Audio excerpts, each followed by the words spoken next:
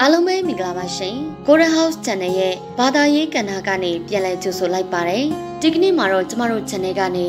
အကျိုးထူးတဲ့ကုသိုလ်၅မျိုးအကြောင်းကိုပြောပြပေးသွားမှာဖြစ်ပါတယ်ရှင်သိချင်းလောက်တဲ့အထိကံတွေစိုးနေပြီလားအဲ့ဒီကံတွေကိုပြုပြင်လို့ရပါတယ်ဒီအကြောင်းတွေကိုဆရာတော်ရဝေနွယ်အေးမကအခုလိုပြောပါတယ်သိချင်းလောက်အောင်စိုးနေတဲ့ကံကိုကုသိုလ်၅မျိုးနဲ့ပြုပြင်လို့ရပါတယ်ဘလို့ကုသိုလ်၅မျိုးလဲဆိုတာတော့ ဒါနသီလဂုဏ်တော်မေတ္တာနဲ့ဝိပဿနာတို့ပဲဖြစ်ပါတယ်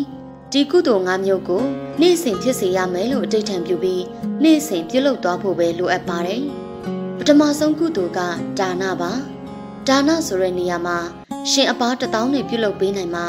ကျောင်းကြီးတွေဆောက်လုပ်လူတန်းနိုင်မှာဒါနမဟုတ်ပါဘူးအိမ်မှာရှိတဲ့ဘုရားကိုရေချမ်းကပ်လိုက်မယ်ဆိုရင်လည်းဒါနဖြစ်သွားတာပါပဲနောက်ပြီးတော့ ကိုတမင်းချက်မှတ်ဆန်တဲ့ကလက်တဆုပ်စာလောက်နိုင်ပြီးအိမ်ရှိမှာစာကလေးတွေခိုးကလေးတွေကိုပြစ်ကျွေးလိုက်မယ်ဆိုရင်လဲဒါနဖြစ်သွားတာပါပဲဆန်လက်တဆုပ်စာလောက်တော့မိသားစုတမင်ဝိုင်းအတွက်တိတ်ပြီးလဲမထိခိုက်တော့ပါဘူး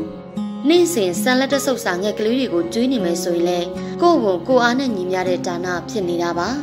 ဒုတိယကသီလပါ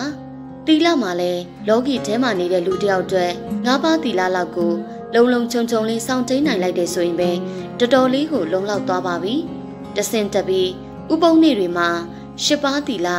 ကိုးပါးတီလာကိုစောင့်တိန်နိုင်နေဆိုရင်တော့အကောင်ဆုံးပါပဲ။တီလာကိုစောင့်ရှောက်တဲ့အတွက်တီလာကလည်းကိုယ့်ကိုပြန်စောင့်ရှောက်ပါလိမ့်မယ်။တတိယကဂုံတော်ပါ။ဂုံတော်ကိုးပါးတဲ့က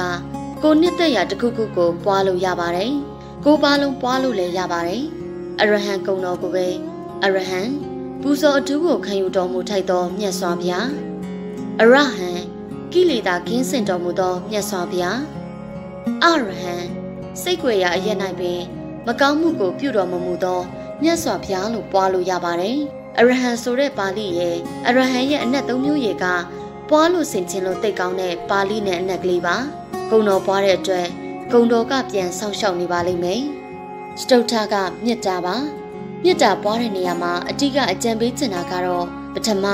ကိုယ့်အပေါ်ကျေးဇူးရှိတဲ့ကျေးဇူးများတဲ့လူပုဂ္ဂိုလ်အားလုံးကိုတယောက်ချင်းကုန်အောင်ပွားပါပြီးရင်နှက်ကောင်းနှက်မြက်တွေကိုဆောင်တဲ့အိမ်ဆောင်နှက်ကစပြီးလမ်းမြို့နယ်နိုင်ငံကိုစောင့်ရှောက်နေကြတဲ့နှက်ကောင်းနှက်မြက်တွေကိုအဆင့်ဆင့်ပွားပါငါဤအိမ်ကိုစောင့်ရှောက်နေကြသောနှက်ကောင်းနှက်မြက်အားလုံးကိုစင်းရဲကင်းပါစေ စိတ်စင်းရဲကင်းပါစေအဆဆရရအဆင်ပြေပါစေစသဖြင့်ပွားလို့ရပါတယ်နောက်ဆုံးတစ်ခုကဝိပဿနာပါဝိပဿနာကတော့ကိုအားထုတ်ဖူးတဲ့နည်းအတိုင်းမှတ်လို့ရပါတယ်။အမထုတ်ဖူးတဲ့သူတွေဖို့တော့အစာပိုင်းမှာတင်ပလင်ခွေလေးထိုင်ပြီးတော့ဘဲဖက်လက်ပေါ်မှာညာဖက်လက်တင်ကခါလဲပင်ဥကောင်းကိုမတ်မှတ်ထားပြီးအသက်ကိုပုံမှန်ရှုဝင်လေထွက်လေကိုမှတ်ပါ မိမိစိတ်ကိုနာသီးဝကိုသာစူးစိုက်ရောက်ရှိစေဖို့အရင်ဦးဆုံးလေ့ကျင့်ပါခုနှစ်ရက်စခန်းဆယ်ရက်စခန်းတွေကိုဝင်နိုင်ဖို့ကြိုးစားတင်ပါတယ်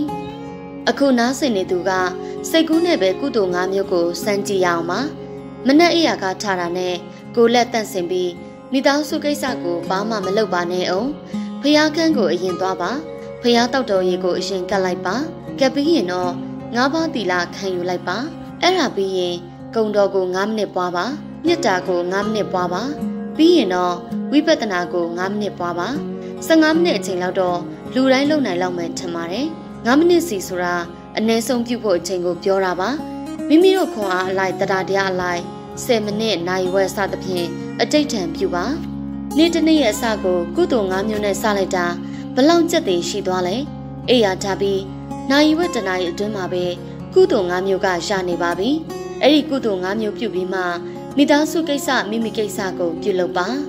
မနက်စာစားပြီးတဲ့အခါမှာဆန်လက်တစ်စုပ်လောက်ကိုယူပြီးအိမ်ရှိကငှက်လေးတွေခိုးလေးတွေကိုပတ်ကျွေးကျွေးပြီးတဲ့အခါမှာတော့ဒီမနက်ပြုခဲ့တဲ့ကုသိုလ်၅မျိုးကိုအမျှဝေပါညပိုင်းမှာအချိန်ရတယ်ဆိုရင်တရားတရားလေးထက်တန်နေဆိုရင်တော့ဒီကုသိုလ်တွေကိုမနက်ကအတိုင်းတစ်ကြိမ်ထပ်လုပ်ပေးပါဒီအတိုင်းကကုသိုလ်၅မျိုးကိုနေ့စဉ်ပြုသွားပေးပါစိုးနေတဲ့ကံဟာမိမိတို့စီကနေထွက်သွားမှအသေးအချပါ အကုသိုလ်တွေအင်အားကြီးနေတော့ချက်ချင်းကြည်နေလို့မနှက်ပြန်ကောင်းလာမှာတော့မဟုတ်ပါဘူးရှက်မပြတ်အောင်အတိတ်ထံပြီးပြုလုပ်ရပါမယ်ကုသိုလ်အင်အားကြီးလာတာနဲ့အမျှကံဆိုးမှုတွေပျောက်သွားမှာပါဒါက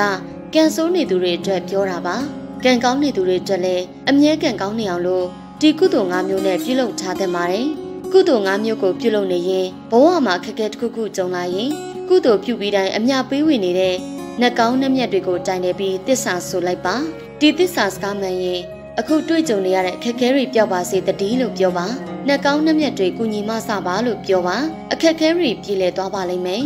ကြည့်ရှုနားဆင်နေတဲ့ပရိသတ်တွေလည်းကံနဲ့ပတ်သက်လို့သိချင်အောင်ဆုံးနေပါစေကုသိုလ်၅မျိုးနဲ့သာနေ့စဉ်ပြုပြင်လိုက်ပါလို့တိုက်တွန်းရင်ဒီမှာပဲနှစ်ကုံချုပ်အပ်ပါတယ်ပရိသတ်တွေအားလုံးကိုလည်းကျေးဇူးအများကြီးတင်ပါတယ်ရှင်